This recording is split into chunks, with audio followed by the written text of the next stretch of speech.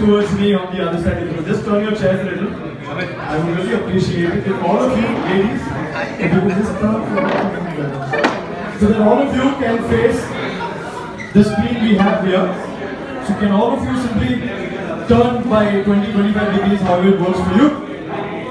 Okay, once again, my name is Ronald and I am here to conduct an activity on behalf of Radio City. And just like the tagline goes, Rag Rag Mein Dode Ye City, uh, I'm sure all of us can feel the pulse of Mumbai every morning when we enter the crowded train, when we are on the street in that traffic jam. So how many of you actually feel the pulse of Mumbai within you every morning?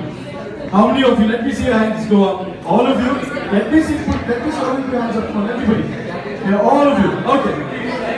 Now, when I say, now when I say Mumbai City, what is that one picture that will come to your head? Any one picture when I say Mumbai City? Okay, once upon a time in Mumbai, that's what she said. What about you? The Dabbawala in the local train ka dabba. And anybody else? Uh, what about you? The cutting chai. Anybody else? The traffic. So, so a lot of us already, a lot of us already have a picture of Mumbai stored in our hearts, and we've locked it. We've said this is what Mumbai looks like: crowded, dabbawalas, etc., etc.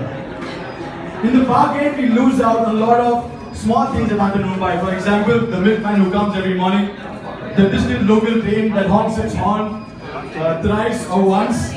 So these things are some things that we miss out about Mumbai very often.